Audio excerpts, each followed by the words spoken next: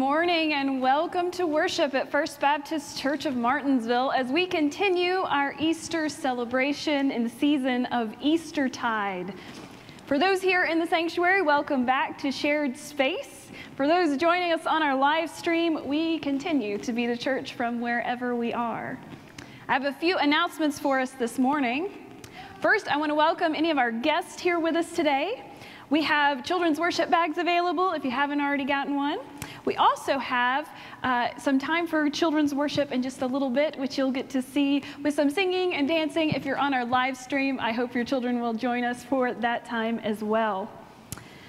I also want to extend our Christian sympathies to a couple of our church families today. First, we offer our sympathy to the family of Jim Barnett, who passed away on April the 2nd after a battle with cancer. His family says they will be making a memorial arrangement here at the church in the next couple of months, perhaps in May or June, and we will keep you updated about those plans as they are made. We also offer our sympathies to Martha Crawley, who recently lost her brother, Jim Wilkins. His funeral was on March the 26th, and so we continue to pray for Martha and her family in these days. Also, I have a couple of missions announcements for us today. First, I want to thank you. You'll see this in your bulletin as well from our Women on Mission and Missions Committee for your generous giving to the CBF uh, offering for global missions this year. We had a goal of $2,500 and we surpassed it by just a little bit. We raised 2,537. So thank you so much for your generous giving these days. Now, for April, our Women on Mission invites the entire congregation to join our new focus for missions, enhancing childhood literacy.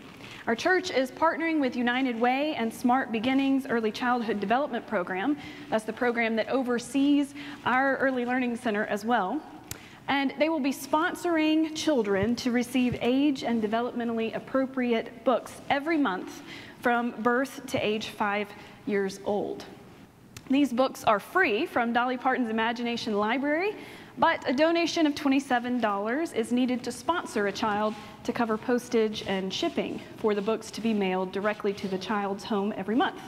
We have approximately 1,700 children in Martinsville and Henry County, my own included, who receive these books from Dolly Parton's Imagination Library. And there are many more who could be registered for that. So to give to this important cause, you can drop your donation in the offering plate today, or you can give online at our website, or drop it off here at the church office. Just put in the memo line, DP Imagination Library. To learn a little bit more about this opportunity, our Women on Mission has provided an intro video from Dolly herself to let us know about the inspiration behind this generous gift of childhood literacy. So now I will let us watch that together.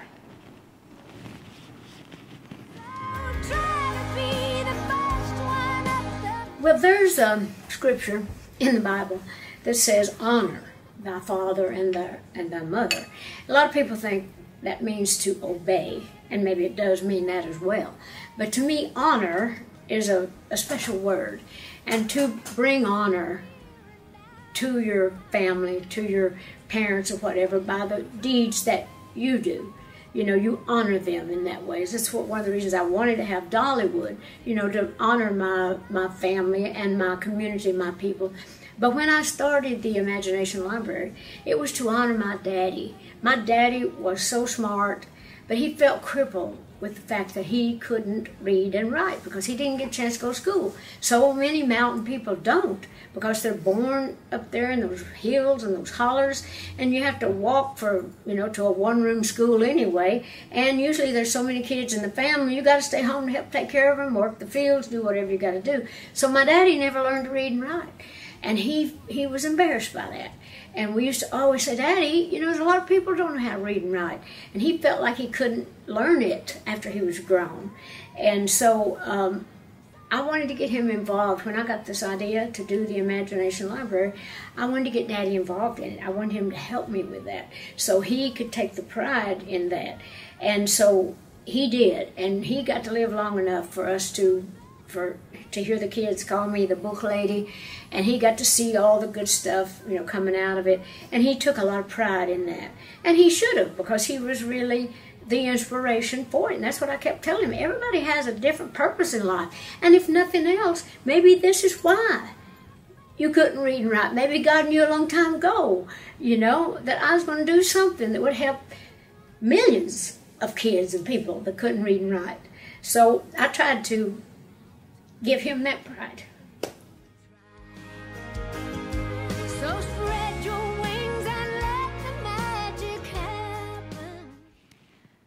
I hope that this cause and like so many our, our church supports will be one way that we can better serve our community and our world one child at a time. So thank you for your generosity in advance. Now, friends, as we enter this space and these moments of worship, may we feel God's presence. May we feel Jesus' peace among us. Let us worship together.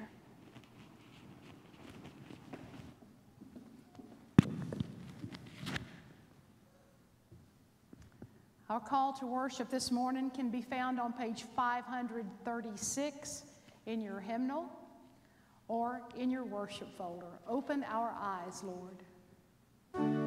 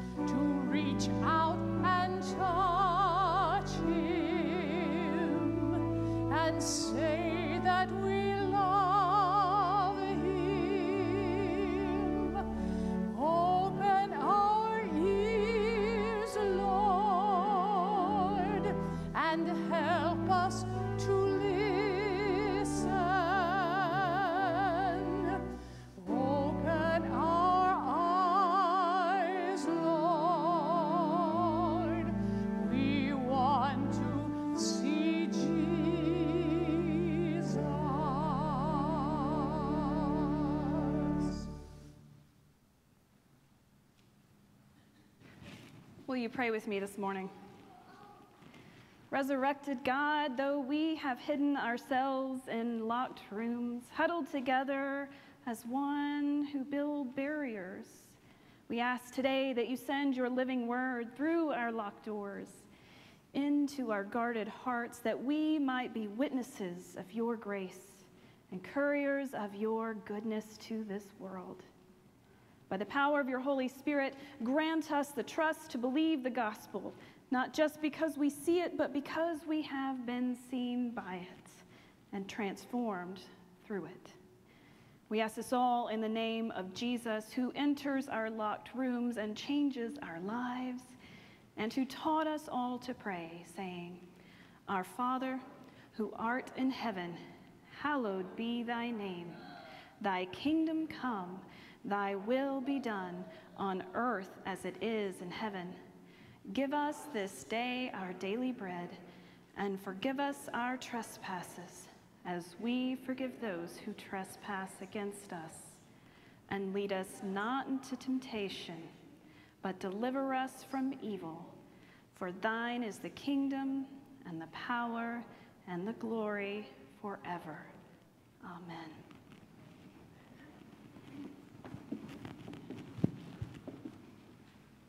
You would please remain standing, and we're going to sing Crown Him with Many Crowns.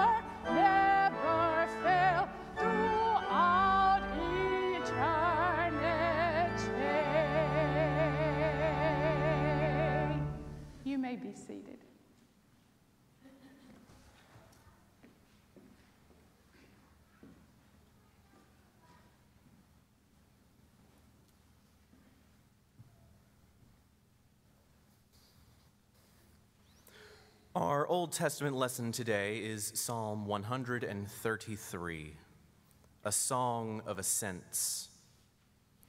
How very good and pleasant it is when kindred live together in unity. It is like the precious oil on the head, running down upon the beard, on the beard of Aaron, running down over the collar of his robes. It is like the dew of the Hermon which falls on the mountains of Zion. For there the Lord ordained his blessing, life forevermore. This is the word of the Lord. Please stand as you are able for the reading of the gospel.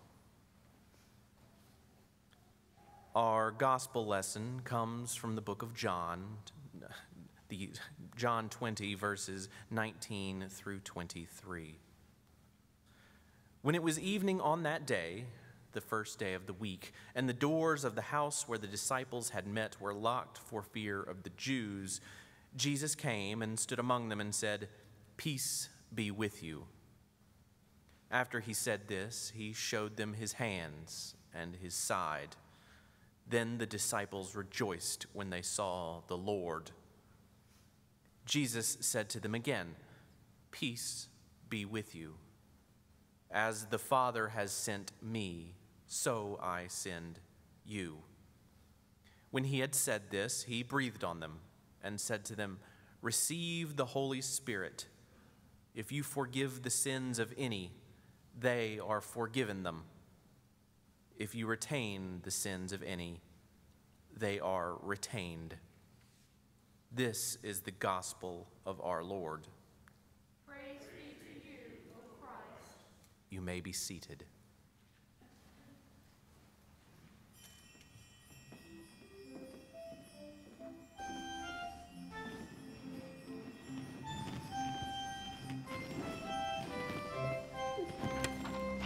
Where are they? Where'd they go? Are they on that side?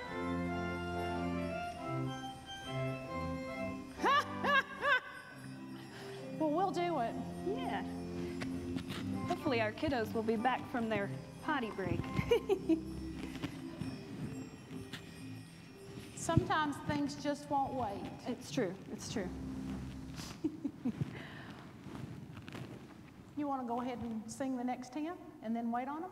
Yeah, why don't we Let's do that? do that. How do y'all feel about that? We'll Do wait on our kiddos to come back. We'll let the Spirit move. about that, Baxter? This is a, this is a praise song that uh, is not in our hymnal, strangely enough. Uh, but it's a wonderful little song called Holy Spirit Rain Down. well, we have Adeline. Uh, so let's go ahead and sing Holy Spirit Rain Down, okay? We'll just do it backwards. Go ahead, Bax. Would you stand with me, please?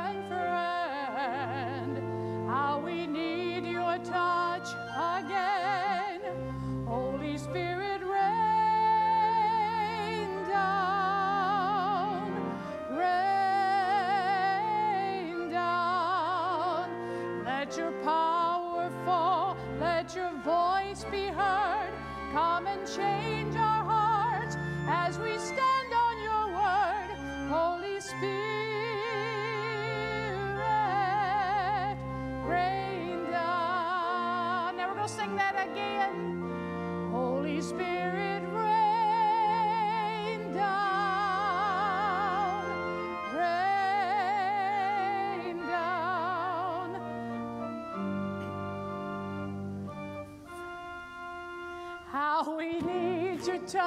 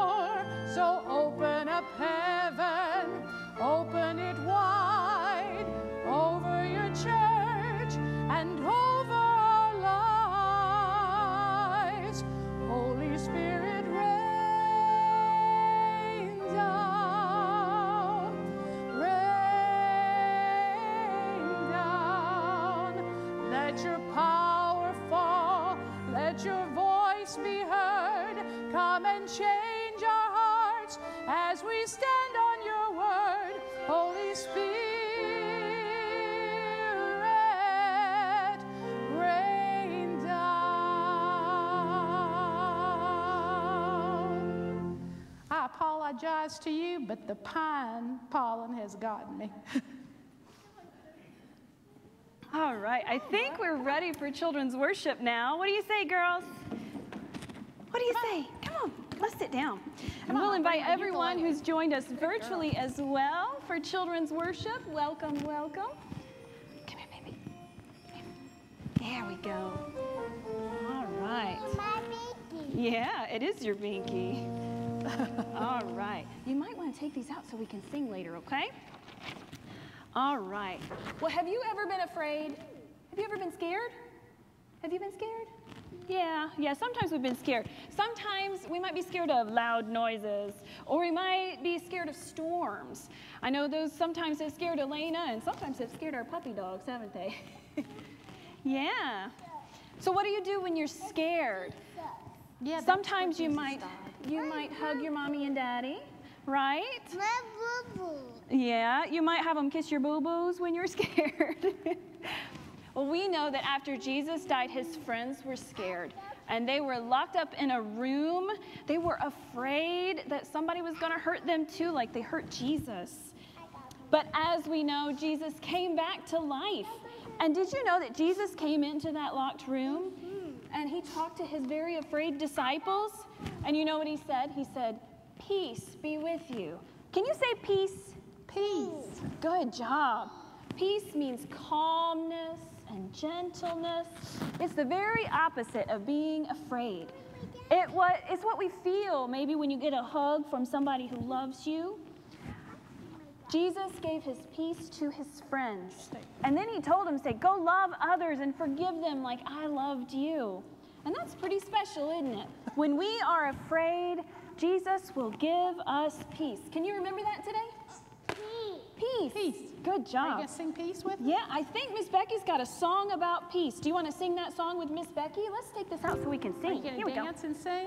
Here we go. Let's dance. Oh, it got out of tune again. I've got peace like a river. I've got peace like a river. I've got peace like a river in my soul. I've got peace like a river. I've got peace like a river. I've got peace like a river in my soul. Ocean. I've got love like an ocean. I've got love like an ocean in my soul.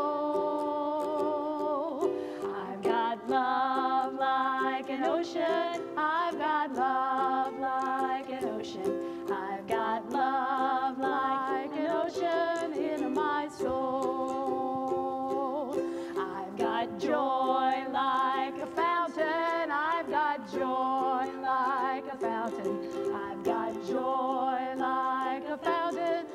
my soul. I've got joy like a fountain. I've got joy like a fountain. I've got joy like a fountain in my soul. In my soul. Good job. Are you gonna, are you gonna sing one more? Or are you are you going someplace? Y'all ready to sing another song sing deep and wide? You guys know I deep think and wide. Baxter's gonna play deep and wide. Yeah, let's come up here. Let's show everybody the motions. Come up here. Let's show everybody how to do the motions. Here, let me hold that paper for you. Okay. Ready? All right, ready? Let's get our arms together. Ready? Deep and wide, deep and wide, there's a fountain flowing deep and wide.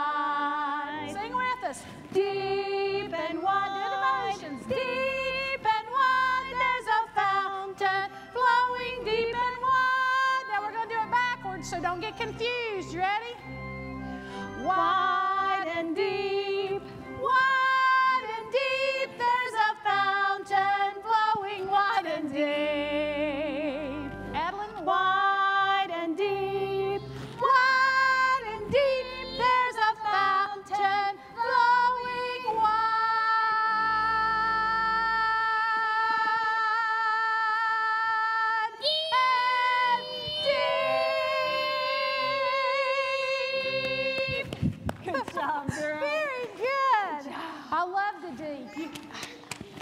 Okay, can we put our hands together and talk to God? Can you put our hands together? Let's talk to God for a minute. God, thank you for sending Jesus to give us peace and love us. Amen. Amen. Good job, girls. Here you go. Here you go. All right, y'all have a great day. You're next.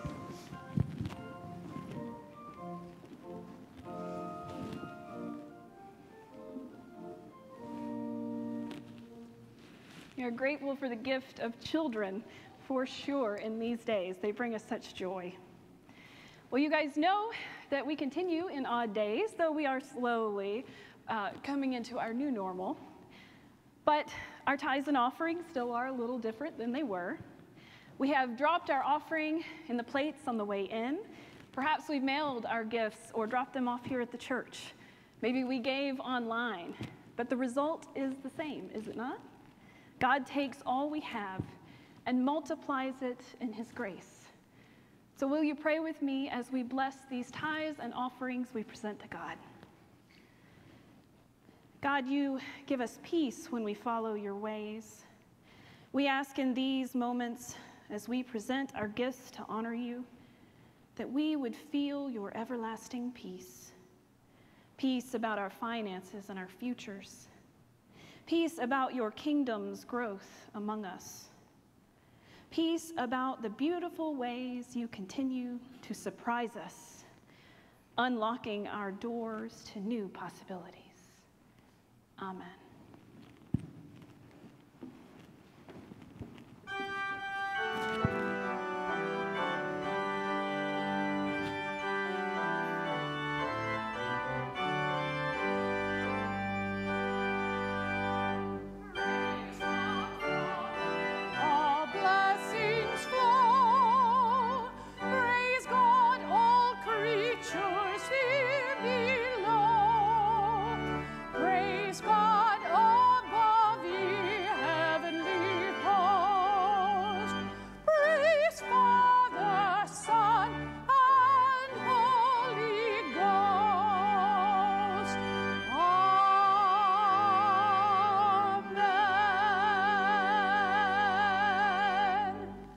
Be seated.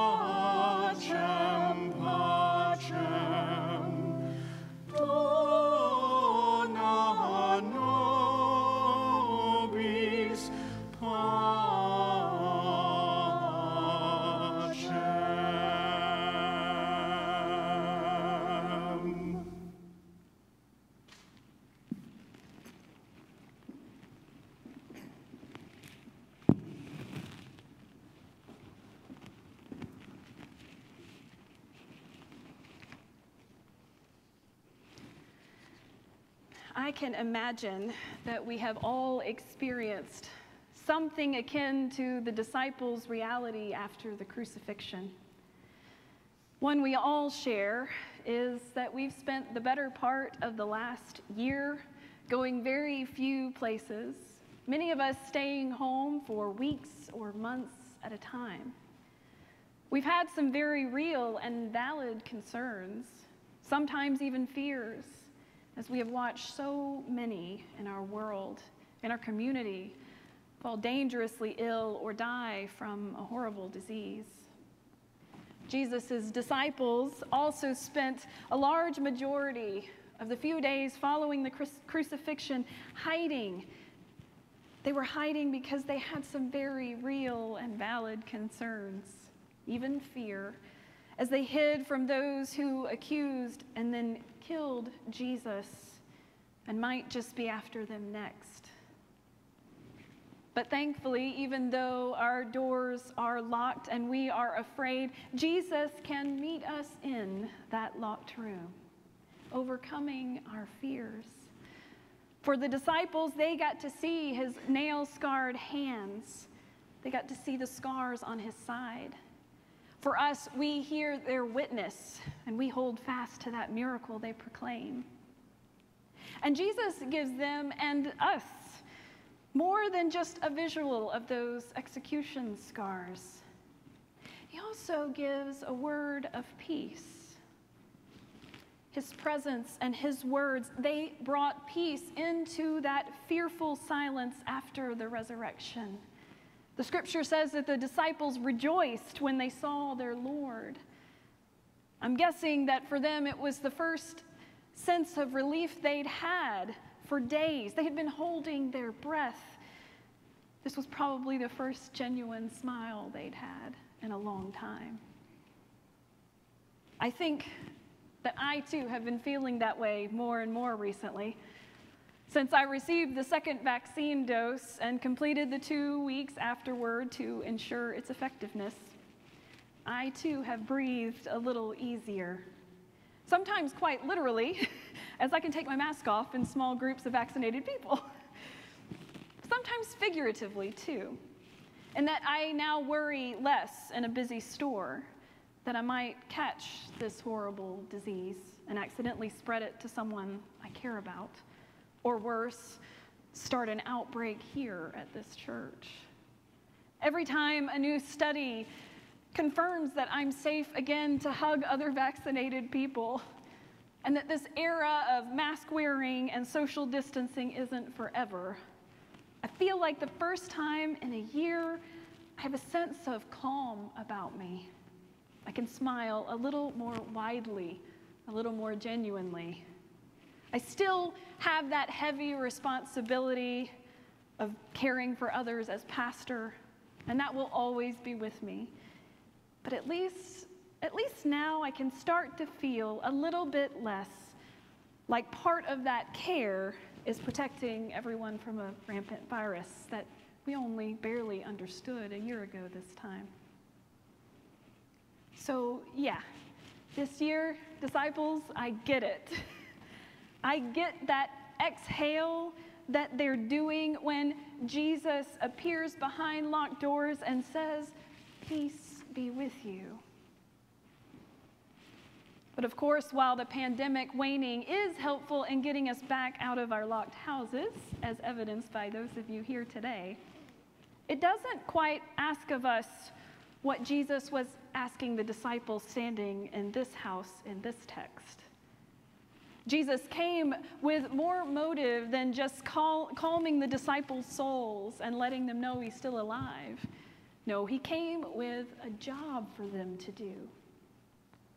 One pastor I read as I studied for this, I think he said it as well as it could be said. There is no fear near Jesus, but that doesn't mean you can relax.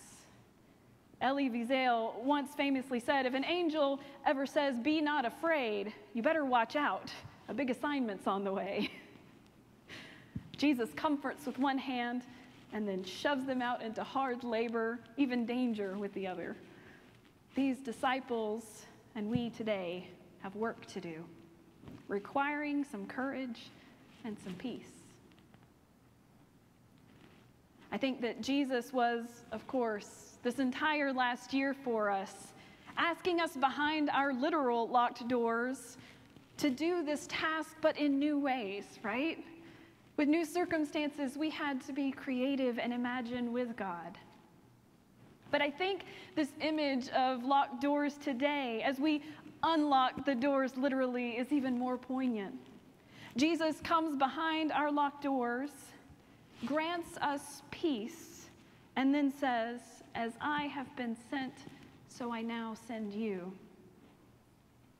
This kind of peace that Jesus gives the disciples isn't one for complacency. It's not the peace we get at the beach with our feet up, enjoying the sun and the sand, though I, heart, I wholeheartedly believe that God does, in fact, grant us that kind of peace sometimes too. No, this peace that Jesus gives the disciples, this is to ease their troubled minds so that they could focus on the work that has to be done. It's the peace that means you cannot remain behind locked doors. You have to get out and do some work. And whether you're still doing that work virtually or have ventured out in person as this pandemic wanes, it's the kind of working peace we have all been given by our risen Savior.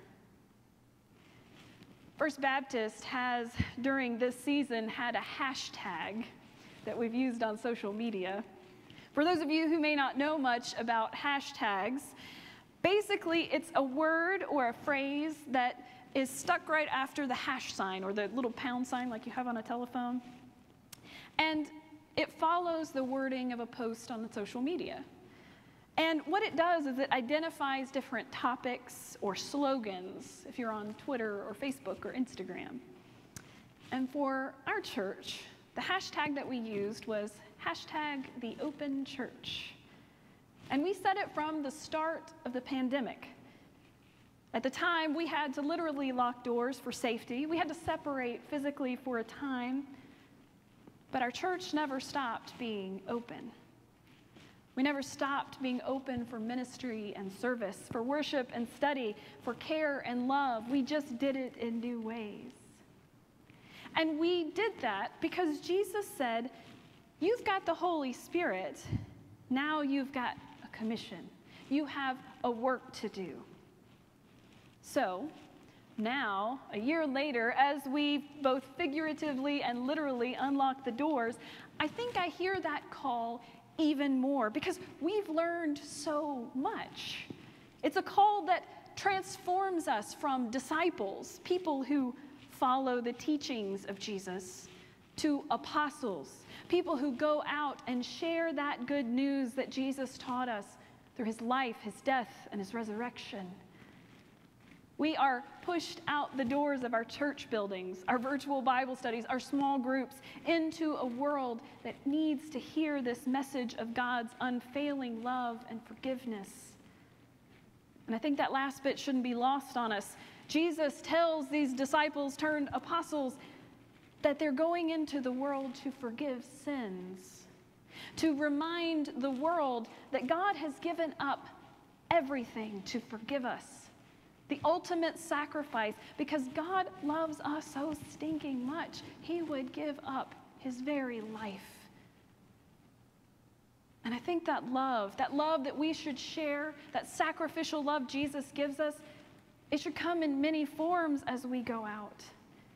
God certainly not only confronted the personal sins of people when Jesus came to die, but also collective sins.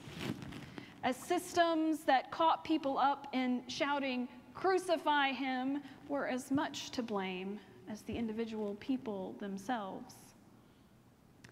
Bishop Michael Curry of the Episcopal Church says, Love is a firm commitment to act for the well being of someone other than yourself it can be personal or political, individual or communal, intimate or public. Love, as I read it in the Bible, is ubiquitous, it affects all aspects of life. Friends, love forgives in spite of everything. Jesus taught that, and Jesus called the disciples turned apostles to live that in this moment. And that kind of forgiveness, that's a powerful thing. It not only wipes the slate clean for people, but it starts them on a new journey. One that doesn't come with all the baggage of past hurt, past traumas, past wrongdoings. The disciples here are given the Holy Spirit to go and share that kind of slate wiping, unselfish love with the whole world. And it's that hard work of healing that can make this world just a little bit more like the kingdom of God come to earth. Our mission as a church together is to share this kind of love a love that reaches beyond stereotypes and labels, that forgives like Jesus did, that offers new beginnings of resurrection promises this Easter season and beyond. So, hear me as your pastor today. We are unlocking the doors. Yes, literally, but also in ways that we haven't for years or maybe ever. We've already unlocked the doors to our online campus through live streaming and Zoom meetings. And now we're going to continue to unlock doors, probably some we don't even realize are there yet. Jesus says to us this Easter season, I'm here, here's my peace, here's my call to you to unlock the doors and go. Let's get this work of love out of our locked doors and into a world that needs to hear this story of radical forgiveness, of grace that's free, of a new start that has the power to transform life from horrible to honorable, from fearful to peaceful, from humdrum to purposeful. I know God is not through with us, First Baptist. I know God is calling us out of these locked doors today and in the future. Amen. God offers an invitation in worship. We open our hearts to hear God's call through Jesus Christ on our lives. Whether it's our personal lives or perhaps we're hearing a call on behalf of our church. If you are sensing a call from God to a new way of living, you are invited to come and meet me here at the front during the final hymn. Maybe it's a day today that you have made a decision to follow Jesus as disciple so that you can become an apostle. Maybe this is the day you would like to join with the work of First Baptist Church as we unlock our doors. Or maybe at this moment you're not sure what it is you're sensing, but you want to pray. Friends, you are welcome here at the front. Come.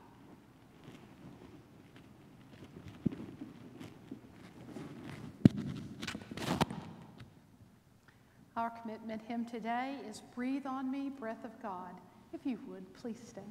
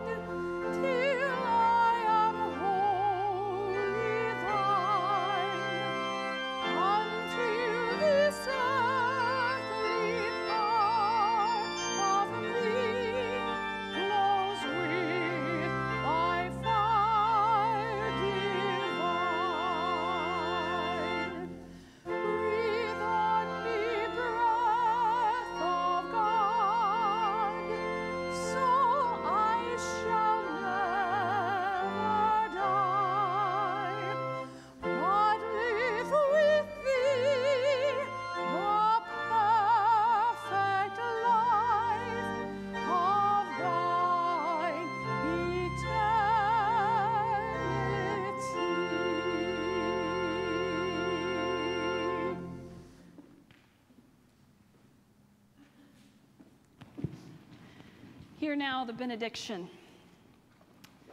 Peace be with you, Jesus says to us in this space. As the Father sent me, so I send you. No doubt or fear can lock God out of our lives. Remember that as you leave this space, sent forward to live by faith and sharing Christ's love and forgiveness to the whole world